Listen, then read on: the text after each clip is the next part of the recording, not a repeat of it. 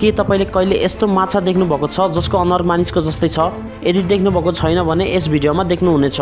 यो हो विश्वकै सबैभन्दा युनिक क्याट जसको कलर पुरै ग्रिन रहेको छ। साथीहरू के तपाईँले ग्रिन कलरको कोक कहिले देख्नुभएको वा पिउनुभएको छ? यी चार देशको राष्ट्रिय गानमा कुनै शब्द नै छैन। अबको केही मिनटमा यी सबै प्रश्नहरूको उत्तर र अरू थुप्रै इन्ट्रेस्टिङ फ्याक्ट्सहरू थाहा पाउनुहुनेछ। Hello welcome to universal facts and P amazing fact सिरिजको एउटा अर्को सुपर कुल एपिसोडमा तपाईँहरू सबैजनालाई स्वागत छ।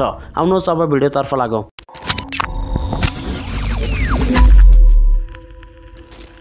फ्याक्ट्स नम्बर टेन साथीहरू तपाईँले कैयौँ किसिमका बिरालोहरू त देख्नुभएकै होला तर आज म जे देखाउन गइरहेको छु नि त्यो तपाईँले कहिले देख्नुभएको छैन होला। यो हेर्नुहोस् the green dragon क्याटलाई।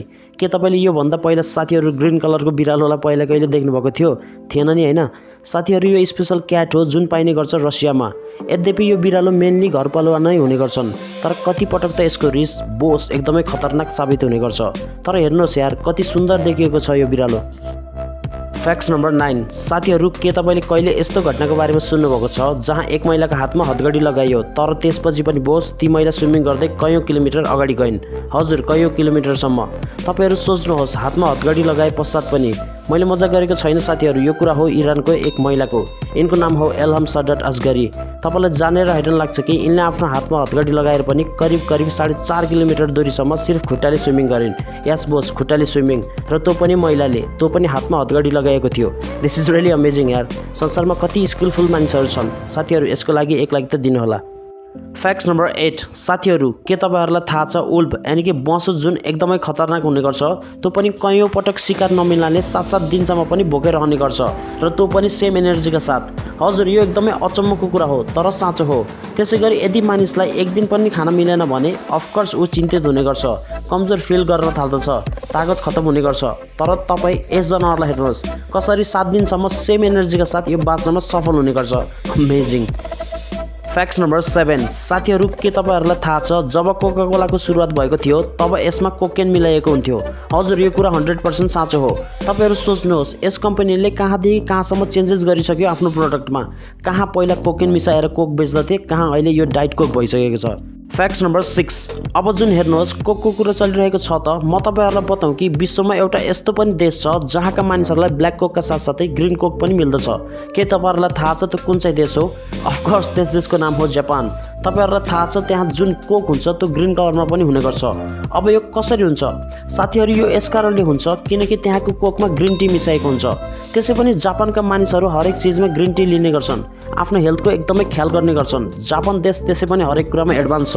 Facts number five के तपाईँले कहिले यस्तो सार्क देख्नुभएको छ जसको अनुहार मानिससँग मिल्दोजुल्दो छ? इन्डोनेसियाका अब्दुल्ला नुरेन नाम गरेका एक माझीले एक्काइस फेब्रुअरी दुई हजार एक्काइसमा एउटा सार्क समातेका थिए जो प्रेग्नेन्ट थिए। जब उसले सार्कको पेटलाई चिरेर हेर्दा त्यस पेटबाट तिनवटा बच्चा निक्लियो जसमध्ये दुईवटा सार्क जस्ता नै देखिएका थिए भने एउटा बच्चाको अनुहार मानिसको जस्तो देखिएको थियो।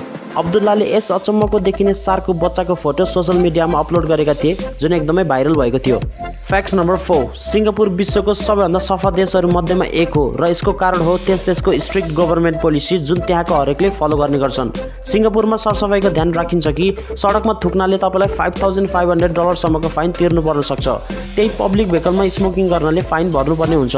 यति मात्र नभए त्यहाँ सडकमा फोहोर फाल्नाले त्यस फोहोर फाल्ने व्यक्तिलाई पुलिसले एउटा टी सर्ट लगाइदिन्छन् जसमा लेखिएको हुन्छ म फोहोर गर्दै हुन्छु र पुरै दिन त्यस व्यक्तिबाट सडकहरू सफा गर्न लगाइन्छ। के यस्तो नियम नेपालमा पनि लागू हुन आवश्यक छ त। साथीहरू कमेन्ट्समा अवश्य बताउनुहोला र यस भिडियोलाई सेयर गर्न नभुल्नुहोला ताकि पुरै नेपालमा यस कुरालाई लागू गर्न सकियोस्। फ्याक्ट्स नम्बर थ्री के तपाईँहरूलाई थाहा छ द ग्रेट थोमस एल्बा एडिसनको अन्तिम सास एक टेस्ट ट्युबमा बन्द गरेर एउटा म्युजियममा राखिएको छ। एडिसनको कुनै यस्तो छिनो जो उनको एक्जिस्टेन्सलाई महसुस गराउँछ कि दुनियाँमा एक यस्तो पनि मानिस जन्मिएका थिए जसले मानिसहरूलाई उज्यालो प्रदान गराए। त्यसैले उनको डेथ बेडबाट उनको छोरासँग पर्मिसन लिएर उनको अन्तिम सासलाई कैद गरेर राखियो। एडिसनको फाइनल ब्रेथ अमेरिकाको हेनरी फोर्ड म्युजियममा राखिएको छ जसलाई हेर्न विश्वभरका मानिसहरू त्यहाँ जाने गर्छन्।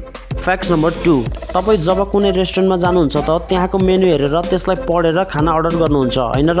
तर के तपाईँहरूलाई यो थाहा छ कि जापानमा यस्ता रेस्टुरेन्ट पनि छन् जहाँ एउटा फरकै मेनु क्याटलग रहेको छ? र त्यो यो हो कि यी नक्कली खाना यहाँ कुनै पनि फुड अर्डर गर्नुभन्दा अगाडि हेर्न सकिन्छ कि तपाईँले अर्डर गर्ने खाना एक्ज्याक्टली कस्तो देखिन्छ? यी डिसेसलाई वाक्स र प्लास्टिकको मद्दतले बनाइने गरिन्छ र डिस्प्लेमा सजाउने गर्दछन्। मतलब जुन खाना छ त्यसलाई हेर्नुहोस् त्यसपछि सोच्नुहोस् अनि बल्ल गएर अर्डर गर्नुहोस्। फ्याक्ट नम्बर वान साथीहरू के तपाईँहरूलाई थाहा छ कि विश्वमा चार यस्ता देश पनि छन् जहाँको नेसनल एन्थेममा कुनै शब्द नै छैन?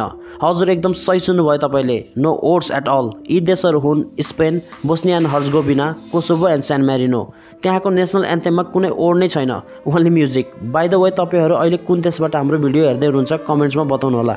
साथीहरू यो थियो आजको भिडियो। यदि भिडियो राम्रो लाग्यो भने यसलाई सेयर गर्न नभुल्नुहोला। तपाईँहरूले सेयर गर्नाले हामीलाई मोटिभेसन मिल्दछ। यस्तै यस्तै भिडियो लगातार हेर्नको लागि हाम्रो च्यानल युनिभर्सल फ्याक्ट्स एन्ड पीलाई सब्सक्राइब गरी बेल आइकन अन गर्नुहोला ताकि हामीले अपलोड गरेका हरेक भिडियोको जानकारी सबैभन्दा पहिला तपाईँहरूले प्राप्त गर्नुहुनेछ।